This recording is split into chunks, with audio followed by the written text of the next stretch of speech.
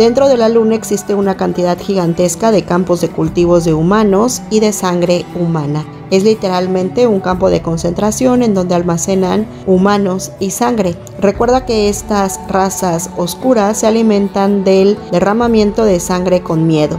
Cada vez que hay luna llena, la Tierra es invadida por una energía oscura fuertísima. La gente tiene drásticos cambios de conducta negativa, los perritos y gatitos y animales en general tienden a ser más agresivos y a producir sonidos extraños. Incluso los océanos se comportan agresivamente. Todo lo anterior sucede porque justo en esos días el derramamiento de sangre de los miles de humanos que están encarcelados en la luna son sacrificados y su sangre es derramada y consumida, produciendo una energía terrible infundida de miedo la cual afecta drásticamente al planeta y a los que en ella estamos.